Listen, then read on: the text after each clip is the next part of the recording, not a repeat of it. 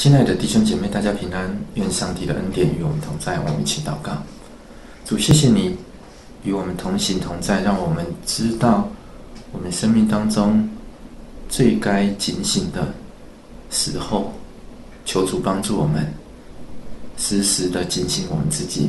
我们在这里献上感谢祷告，奉靠主耶稣基督的名求，阿门。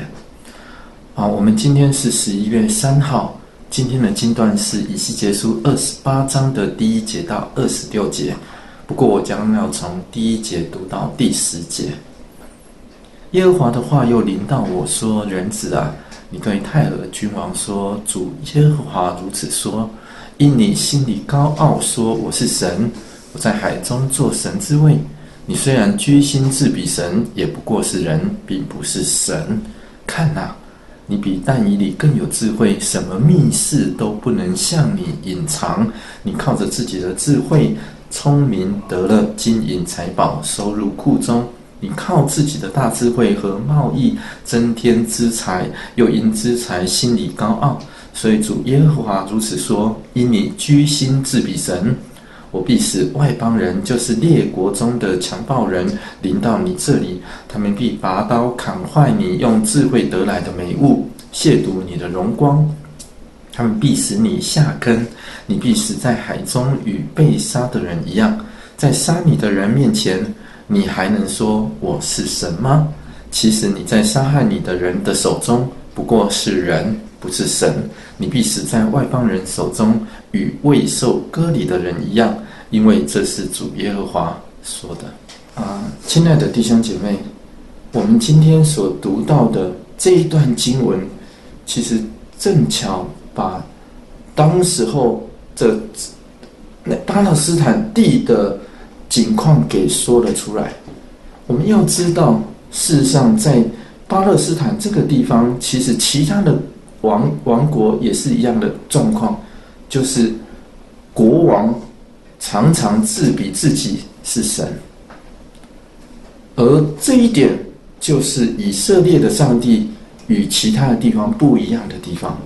以色列的王，即使他是王，他也不敢自居为神，因为他知道在以色列当中，唯独上帝是王，因此。如果这些王他自比敢自比自己是神的话，那么他们必遭遇大难。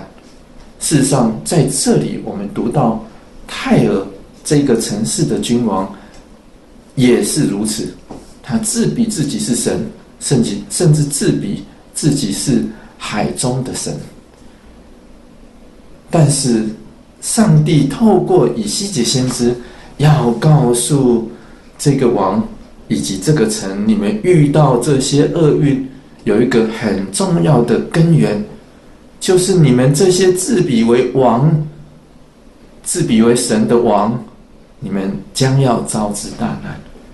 虽然泰尔这个城市刚刚好有一个地利之便，它在地中海这个地方，它接受了非常多的贸易出入。是的，没有错。泰王一定要非常具有智慧跟能力，他才能够让这个吞吐的人潮，在他国内造成一个丰富以及繁荣的景象。但是这些丰富繁荣的景象，就好像经理公司经营公司的会经营公司的人一样，他的确要有非常大的智慧跟能力，但是这些。